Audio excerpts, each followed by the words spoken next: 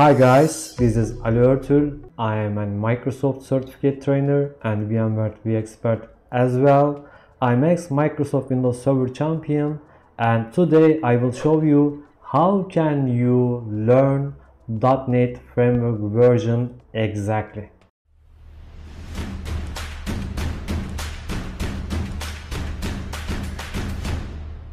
As you know, .NET is a developer platform made up of tools, programming languages, and libraries for building many different types of application.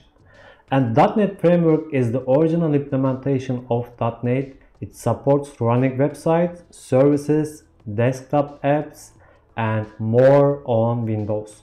And today I will show you four methods for learning .NET Framework version.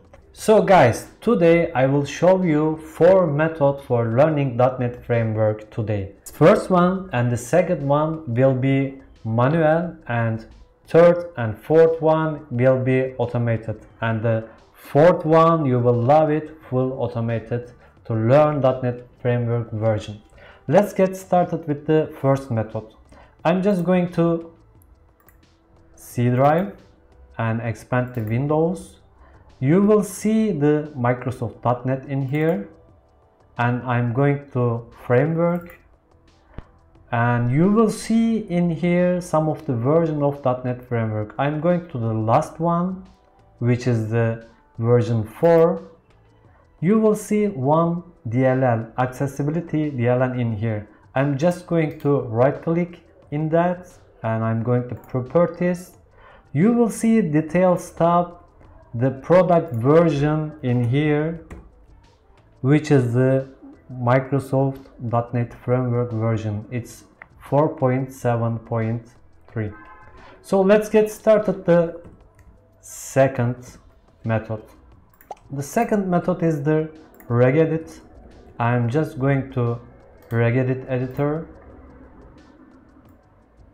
and you will see some of the values in here. I'm just going to hk local machine and software under that microsoft.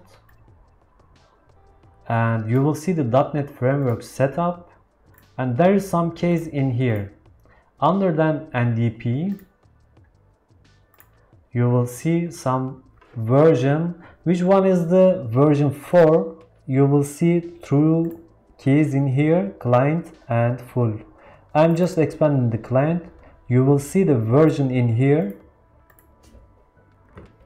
which one is the 4.7 as well. And you will see the full version in here which is the 4.70 okay that was the second method of the learning .NET framework. Let's get started the automated version you can see you know, you know the PowerShell is the powerful CLI uh, on Microsoft Server and Microsoft Client as well. I'm just going to run as administrator Microsoft PowerShell and let's get coding. I'm coded get child item and HKLM.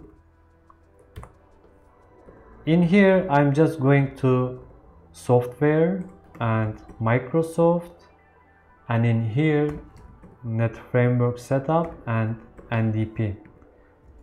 I will just going to one parameter which is the recurse and enter. You will see the exact exact version in here.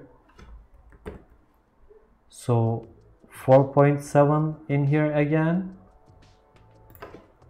and I'm just going to above for the client version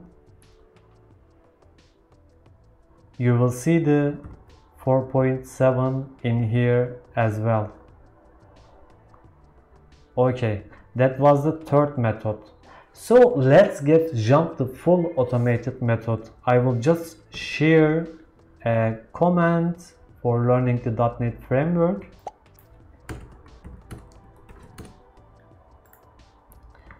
I will share this command on my blog as well just under the my videos control A and control C Again, I am opening the PowerShell with run as administrator and right click, paste the code and I'm going to enter. You will see in here the exact version for the client for the full version which is the 4.7 again. I have demonstrated four methods for learning Microsoft.NET Framework. You can select which one is the easiest way for you. Thanks for watching.